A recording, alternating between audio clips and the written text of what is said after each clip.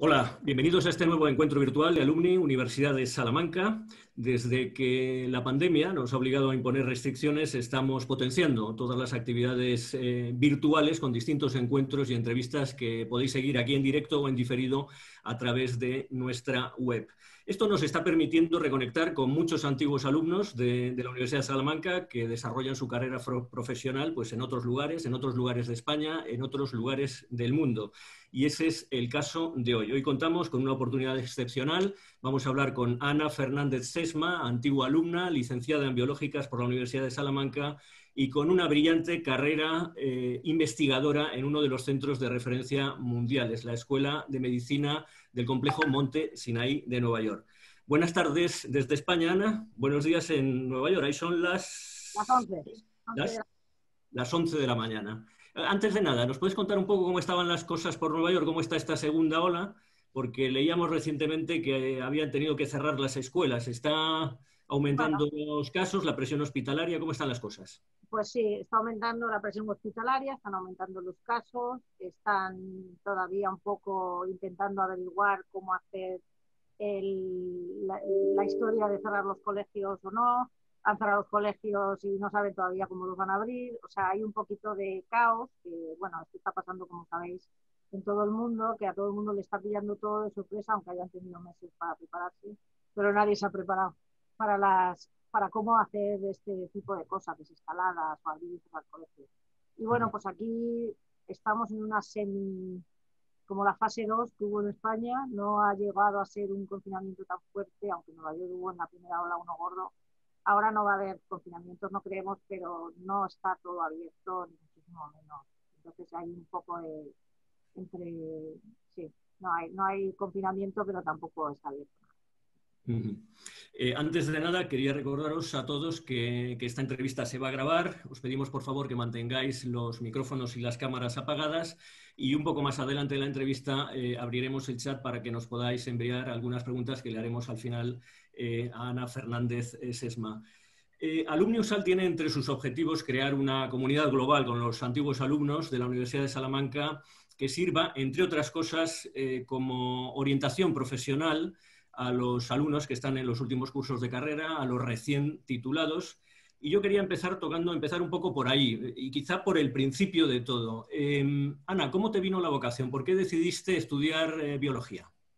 Bueno, yo ya creo que lo he contado en algunos medios ya antes, pero bueno, yo tengo una, yo tenía una historia familiar, mi abuelo era médico, un tío mío era médico, había bastante historia de medicina en la familia y cuando era pequeña, en uno en donde veraneamos toda la familia, que mi abuela y sus hermanos tenían casa, nos juntábamos mucha familia y, uno de mi, tío, que era mi padrino, que era médico, vino un año y nos vacunó a todos. Entonces fue como una imagen que se me quedó. Yo tendría a lo mejor cinco años, así, y nos puso a todos en fila, a todos los primos, y nos puso a todos la vacuna. Y creo que era la polio o la viruela, porque la verdad es que no me acuerdo bien. Y pero me acuerdo que nos contó lo importante que era la vacunación y por qué nos vacunaba y, y que había que hacerlo, ¿no? Entonces me dejó bastante marcada, ¿no? Lo de, lo de, que una cosa como una vacuna tuviera un impacto tan grande, entonces hablaba mucho de, de los países del tercer mundo y de la necesidad de la vacunación. Entonces, el, el, pues me quedé con el gusanillo y pensé, bueno, pues a lo mejor que iba a hacer medicina.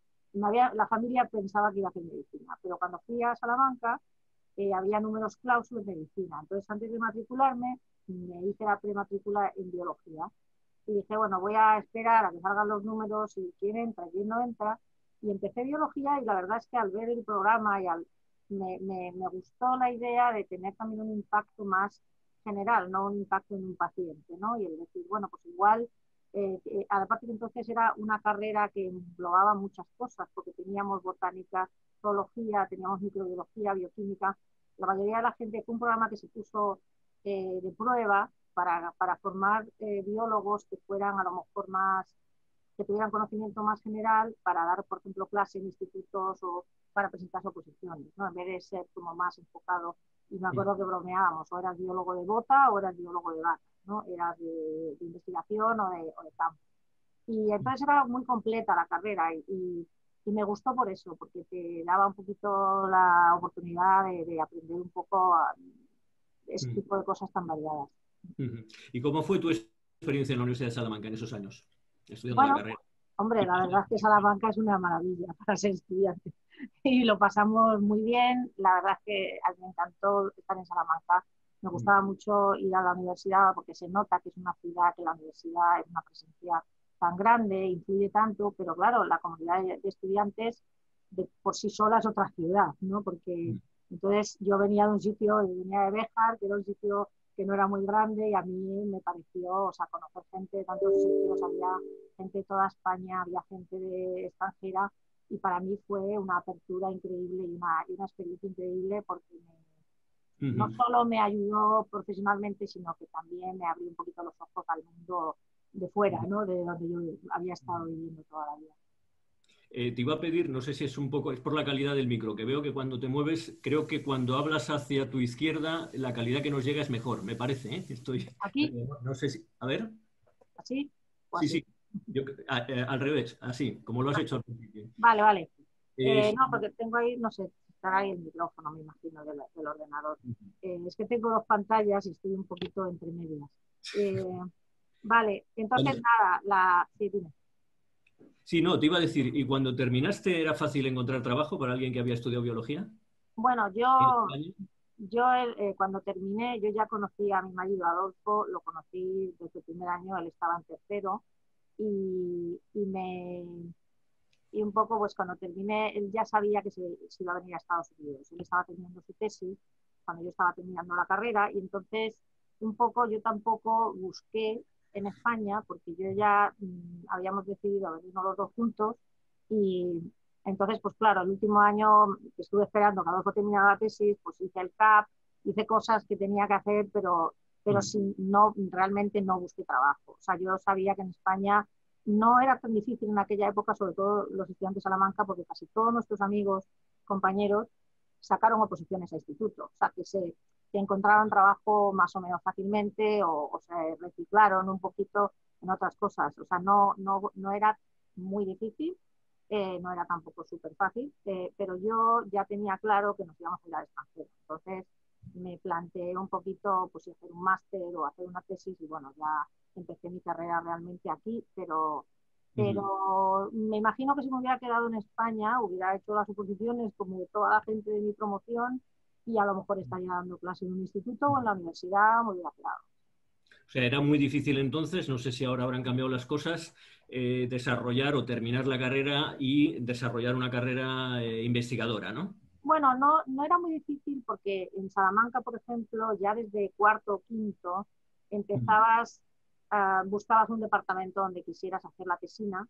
Si tú querías quedarte a hacer la tesis doctoral y hacer investigación, incluso la investigación de campo, como en, ecología o eh, pues que, ya te unías a un departamento donde podías empezar. Yo de hecho empecé a hacer, que no terminé haciendo tesina, pero empecé durante el, el, el cuarto creo que fue, empecé en zoología y estuve trabajando con un, con un par de investigadores que estaban eh, que hacían viajes a los tipos de Europa y traían muestras, bueno, pues podías trabajar. Entonces te podías buscar un poquito lo que te gustaba y luego a partir de eso buscarte una beca, pedirte una beca para hacer la tesis. Hacer un poquito, me imagino cómo se hace ahora, pero, pero era un poco hecho con contactos directos en la carrera, que tú contactabas con el director del, del, de ese departamento o, o con tu profesor de prácticas y la verdad es que no era tan difícil. Eh, pero bueno, yo a mí al final no me quedé haciendo la piscina, pero podría haberme quedado a lo mejor en ese departamento. ¿no?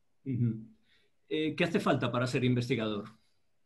Bueno, yo creo que lo que, bueno, hay ganas, ganas, vocación, y lo que yo le digo a mucha gente es no tomarte los, los fracasos como algo personal, y aprender un poco a levantarte cada vez que tienes un, fracaso, porque vas a tener muchos. Entonces, aprender un poquito a, no lo sé, a superar esos baches, eh, o sea, porque no solamente es tu técnica, por ejemplo, con la pipeta, tú tienes que además pensar qué proyecto quieres hacer, ese proyecto tiene que, que tener una hipótesis clara, tienes que tener que los resultados te salgan, o sea, hay muchos, eh, hay muchos elementos que pueden no funcionar y no es necesariamente culpa tuya o que no seas, o que seas un inepto. Simplemente y luego, tal y como está hecha la carrera científica, tú tienes que presentar tus trabajos, te los van a evaluar mm, colegas que están a tu nivel, pero también pues, tus, tus, publicaciones, además de tus proyectos, ¿no? que tiene financiación. Entonces, es una carrera en la que estás constantemente siendo rechazado o siendo, o tus ideas te las tiran o te dicen que no son buenas. Entonces, tienes como que estás todo el rato mm, como que te niegan lo que quieres y tienes que reinventarte o, pensar de otra forma. Entonces, yo creo que para ser investigador tienes que tener un poquito en, mente que, te van a rechazar muchas cosas y que muchas cosas no te van a salir. Y bueno, y seguir adelante. O sea, hace falta mucha resiliencia, ¿no? Que es la palabra resiliencia. Ya que, no sé quién lo dijo el otro día, digo, a ver si me voy a estar inventando la palabra. No, es que era un término muy usado por, digamos, en inglés, pero en español. se usa mucho, sí, Está poniendo de moda el, el gobierno, incluso. Em, en España, y no solo en España, eh, la presencia de mujeres sigue siendo mm, escasa o baja en las carreras científicas y técnicas. Eh, ¿Crees que esto, bueno, primero, ¿a qué crees que se debe esto? Y segundo, no sé si en estos años, desde que tú estudiaste hasta ahora, se ha ido acortando ese, ese gap, esa, esa, diferencia. Bueno, yo, yo creo que a la altura de la universidad o, incluso de hacer la tesis no hay tanta diferencia. Probablemente está un 50-50%, si no más, eh, de mujeres. Entonces yo creo que va viendo como una criba según se va subiendo en el escalafón, tanto académico como, como en otras, por ejemplo, en, compañías o en, otros, en otro tipo de ámbito, ¿no? y es un poco, claro, coincide con las oportunidades o con lo que te exige tu trabajo de viajar a lo mejor o de tener que estar constantemente, eh, por ejemplo, en ciencia tenemos que ir a congresos, tenemos que presentar nuestro trabajo, tenemos que, o sea, es muy, hay mucha, como muy exigente de tu tiempo, ¿no? Y, es difícil la conciliación. Claro, entonces la conciliación es difícil eh, y luego eh, también, pues, por supuesto, hay un poquito de reticencia dentro de los, la gente que están al cargo de contratar, si tienen la misma oportunidad de una mujer o un hombre, pues piensan, oh, esta mujer a lo mejor va a tener hijos, a lo mejor va a tener limitaciones. Entonces hay un poquito de todavía, ¿no? De, no darle esa oportunidad que a lo mejor está en igualdad de condiciones. Yo no, yo no he, no he tenido problemas de, o sea, he ido subiendo, pero a otra, a otra velocidad que a lo mejor gente que estaba que, leyó la tesis cuando la leí yo o que, o que terminó el postdoc cuando lo terminé yo, pero, pero yo hice mi elección de cómo quería compaginar mi vida con mi carrera, ¿no? Y, y como yo hago en broma, digo siempre que hay carrera de velocidad y carrera de resistencia. Entonces yo hice carrera de resistencia. Y vas, eh, entonces no, o sea, es cuestión de estar contento con lo que haces, ¿no? Y de, si tu gol en la vida es llegar el primero y ser lo mejor y ser lo más, pero si tu gol en la vida es hacer lo que te gusta y poder seguir teniendo tu laboratorio y poder seguir teniendo gente, pues bueno, te lo planteas y dices, ¿qué es lo que es mi prioridad en la vida realmente? ¿no? Y, pero luego también es verdad que si no tienes a alguien que te apoye, pues se van, las mujeres se van perdiendo en el camino porque al final es tanto el trabajo para mantener el nivel que, te, que, vas cogiendo pues, otro tipo de, oportunidad, que te requiere menos tiempo, que te requiere menos, de, menos viajar y, la verdad es que, que, bueno, pues, se está haciendo ahora mucho más concienciación, pero todavía no está todo el camino hecho. Eh, pero, bueno, aquí seguimos las que podemos intentando animar a las mujeres a que no lo dejen porque, merece la pena. Bueno, vamos a empezar a hablar ya de los, de los virus, que es el, el título de esta charla. Mm, lo primero que te quería preguntar era en qué proyectos eh, estás trabajando ahora, porque siempre sales, eh, corrígeme si me equivoco, como la investigadora norteamericana mejor financiada eh, por los National Institutes of Health, ¿no? el Centro de Investigación Médica Federal. Es en microbiología, pero, o sea, quizá eso, he tenido mucha suerte, la verdad. Yo he tenido muchísima suerte en mi vida, siempre he tenido suerte, o, o quizá he sabido ver las oportunidades mm, bien y aprovecharlas, ¿no? porque no es cuestión de suerte, es fortuna y es, y es tener un poquito la, la oportunidad de hacer las cosas. Eh, yo ahora mismo, el, la, el, proyecto más grande que tenemos en el laboratorio es un proyecto para estudiar el virus de dengue, que es un virus tropical que afecta a muchos millones de personas, para el cual no hay vacuna y no hay antiviral, eh, y, es un proyecto en el que había muy pocos grupos que estaban trabajando y que afecta a muchísimos países del sudeste asiático, eh, Latinoamérica y es transmitido por un mosquito. Entonces, tiene también una, parte pues, de, salud global y de, cambio climático, como afecta al vector, al mosquito que se va expandiendo. ¿no?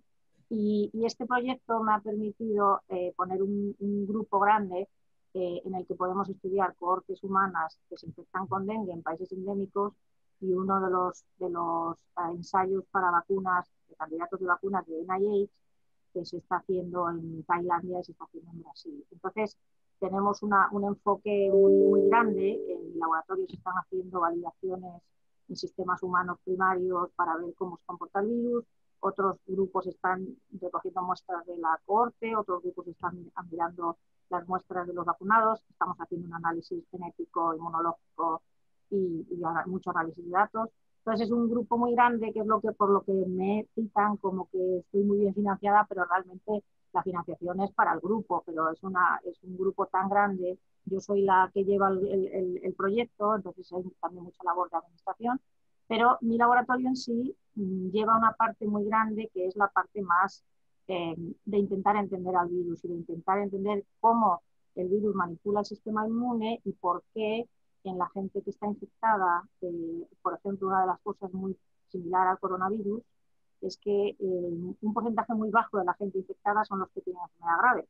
La mayoría de la gente infectada tiene enfermedad menos grave. Entonces es entender por qué hay gente que tiene esta enfermedad grave, normalmente ven que son niños, y por qué no, si es la inmunidad previa, si es, y hay, y hay muchos, muchos elementos del sistema inmune que están influyendo a la patología de, y luego tenemos una parte, otro proyecto grande con, con, gripe, con influenza, que estamos también. Mi laboratorio realmente se enfoca en las células inmunes, cómo reconocen los virus y cómo los virus intentan evadir este reconocimiento por las células inmunes. O sea, una, una respuesta muy temprana, que luego resulta en producción o no de anticuerpos, o de distintos tipos de anticuerpos, o de células T. Entonces es ese primer encuentro del virus con la célula inmune, cómo eso determina la respuesta en el huésped. Entonces lo vemos en dengue, lo vemos en gripe, lo vemos en coronavirus, pero es siempre como la misma pregunta, ¿no? ¿Qué es el truco que está usando el virus para poder establecer su infección? Porque nosotros tenemos trucos para que no nos infecten, claro. Porque esto que comentabas ahora eh, y que eh, a mucha gente le sorprende el hecho de que el coronavirus em, en algunos casos, bueno, o en bastantes casos, eh, se pase de manera asintomática y en otros casos termine uno en la UCI o incluso falleciendo esto no es una peculiaridad del coronavirus, esto es frecuente en, otros eh, agentes infecciosos, ¿no? en otros virus. En general los virus no quieren matar al huésped. Si matan al huésped se quedan sin huésped y no pueden seguir propagándose y, transmitiéndose. Entonces, normalmente cuanto mejor está un virus adaptado al sistema que infecta, en este caso humanos, menos dañino es el virus. Por ejemplo, si piensas en el virus del catarro, infecta a millones de personas anualmente y no mata a nadie pero se transmite muchísimo y sigue circulando y todos los años hay, hay catarro.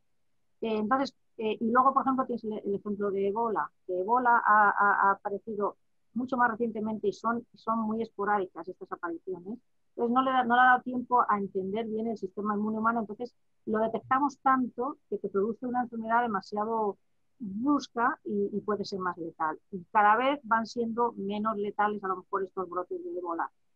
Entonces yo creo que cuanto más tiempo, más oportunidades de infectar más humanos, mejor se adapta. Entonces el virus hace como más silencioso y, puede mm, esconderse en los rincones o apagar distintas cosas.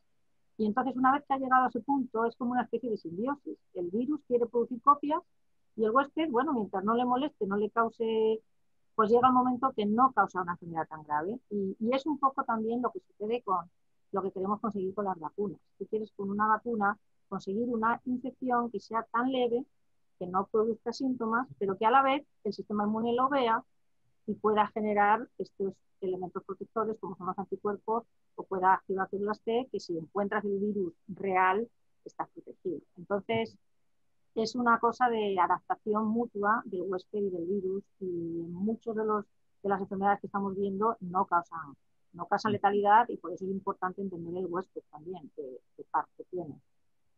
Eh, hace unos días leíamos una noticia sobre un estudio bastante panorámico sobre el conjunto de la respuesta inmunitaria en el que participaba, entre otros, eh, un colega tuyo de Montesinaí, Florian Kramer, eh, y ellos decían que por lo que habían visto en pacientes que habían pasado la enfermedad hacía, si no recuerdo mal, ocho meses, entre seis y ocho meses, el nivel de anticuerpos y de déjeme si me equivoco, ¿eh? seguro que meto la pata, de células de memoria, etcétera, bueno, pues que parecía bastante eh, estable, que no se, había, eh, no se había reducido en tan poco tiempo y ellos o estimaban que eso significaba que la inmunidad frente al coronavirus, en este caso la inmunidad natural, podía ser duradera, podía durar años. Sí, yo creo que es cierto, yo me fío muchísimo de Florian. Florian es un amigo, un colega es una persona increíblemente eh, buena en lo que hace. Y Florian trabaja en anticuerpos. Florian, de hecho, ha desarrollado un método o un, ensayo para hacer toda la serología que se lo ha distribuido a 250 laboratorios en el mundo. Y yo he mediado con muchísima gente en Sudamérica, en sitios que conozco, para conseguirle los reactivos, incluso con España. Y Florian tiene un método muy bueno de detectar anticuerpos de todo tipo y ver si los anticuerpos la calidad de los anticuerpos, no solo el nivel. Entonces, lo que han hecho realmente es medir no solo los niveles de anticuerpos, sino si son neutralizantes y protegen. Y usar eh, proteínas aisladas eh, eh, producidas aparte de plásmidos, que son la proteína del virus. Entonces, lo que confunde a la, gente en general es cuando te dicen que han los han bajado los anticuerpos.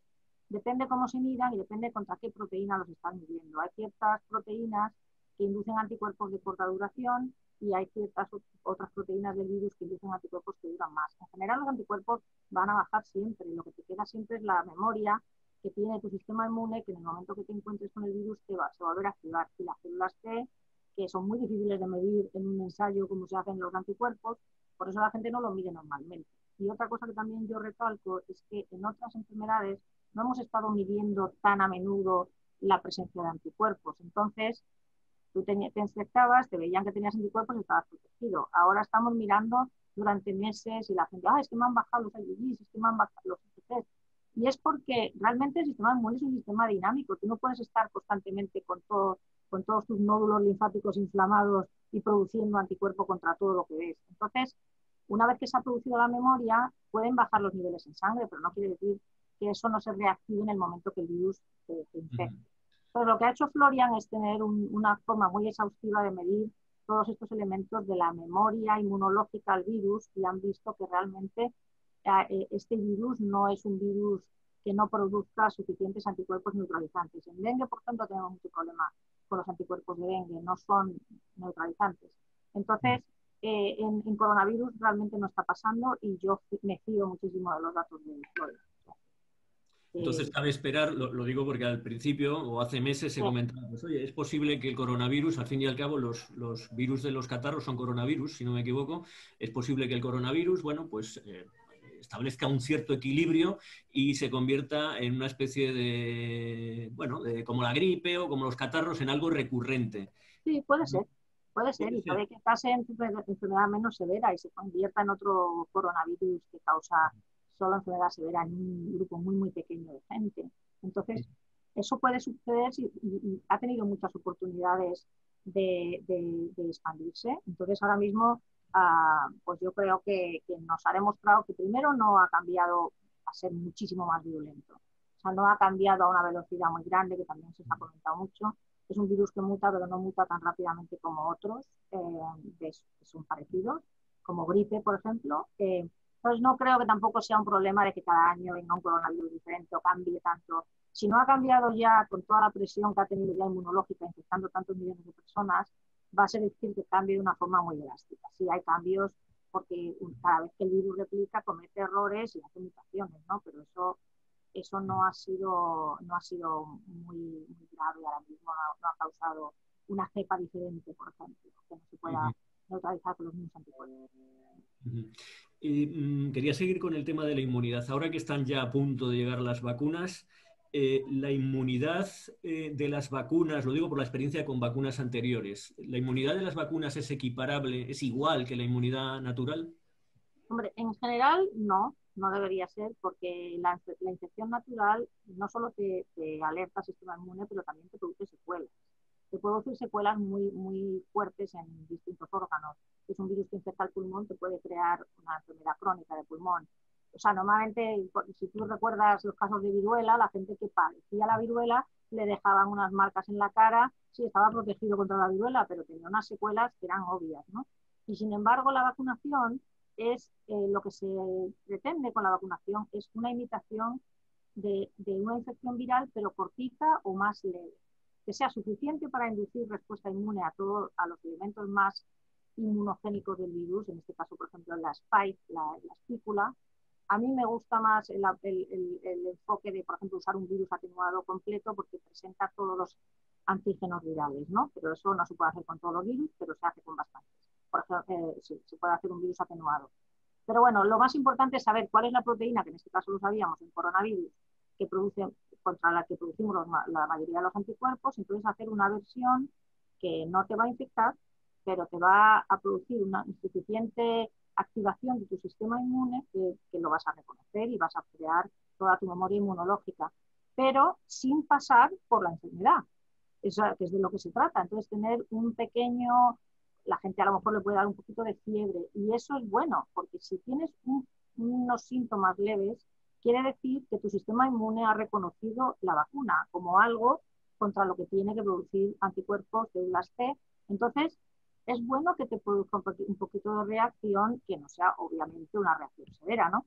Pero, pero lo que se pretende es encontrar ese equilibrio, que sea lo que llamamos inmunogénico, o sea, que el sistema inmune lo vea, pero sin llegar a ser una patología o una enfermedad. ¿no? Entonces, yo creo que tal y como se diseñan las vacunas, eh, evitas los otros estragos que hace el virus cuando te infecta.